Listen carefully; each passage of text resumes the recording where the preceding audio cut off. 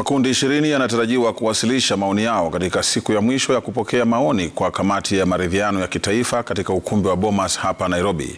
Baadhi waliotoa maoni yao leo ni wabunge 27 wanaotaka kaunti 11 zaidi zibuniwe pamoja na muungano wa makanisa nchini unaotaka sheria ya fedha ya mwaka 2023 ifanyiwe marekebisho.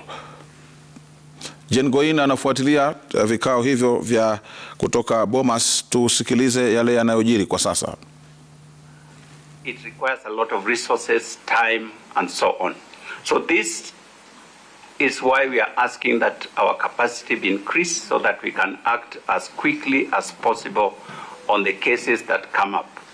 Uh, thirdly, as I close and hand over to the CEO to answer some of the other questions, you'll find that uh, our mandate, unlike what uh, Honorable Mgeni uh, raised in other jurisdictions, we are supposed to respond to all kinds of corruption cases and bribery cases. We receive thousands of reports from Kenyans who uh, have witnessed incidences. These can range from a person, I, I have given this example before, immediately arrived in office, somebody sent an email uh, because a chief had demanded 200 shillings from them and they wanted ESCC to act quickly. Two weeks later, before uh, we, we, didn't reply, they sent a reminder. Uh, we have not seen any action uh, taken on this chief who has taken 200 shillings. Now, 200 shillings for us is very small, but for this person to write, it is a very significant amount of money for them. On the other hand, we are dealing with cases where people have embezzled 8 billion shillings uh, some 50 billion shillings.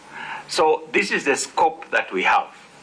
It therefore requires that we focus and we have uh, um, focused our attention on high impact cases and on high impact individuals. That's why sometimes you do not see the quick responses to some of the incidences as we would expect uh, from, from us as an office. But our mandate is very broad and very widespread. Let me allow CEO to answer the more specific questions. Uh, thank you, thank you. Muna CEO. Uh, thank you, thank you, sir. I think uh, first I would like to blow my own trumpet. I have served in this government as a public officer for 40 years. So I'm relatively a seasoned public officer.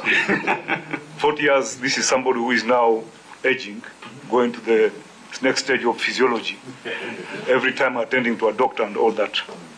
Uh, I want to talk about uh, the integrity of our officers. It started with the chairman who has left, the Honorable uh, Musyoka.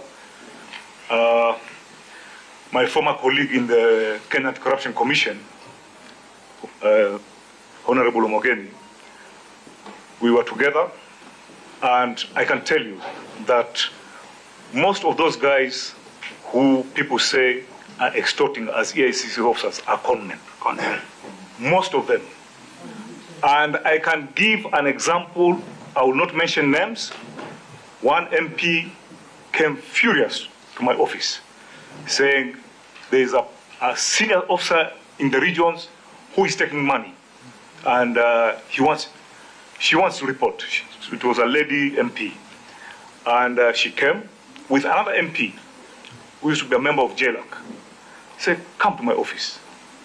They came, they, give the, they gave the story, and asked for the name of that person and the telephone number.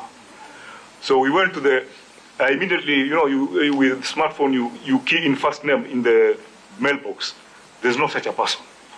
Immediately I called the HR. Do we have, do we have such a staff? No. The MP was dealing with a conman. That is what is happening. They are very smart. They have business card. There is even one conman that we arrested, and he told us openly he is a professional conman. His children are in school, even university, and he is making good money. And even if we release him, he will go back to be a conman.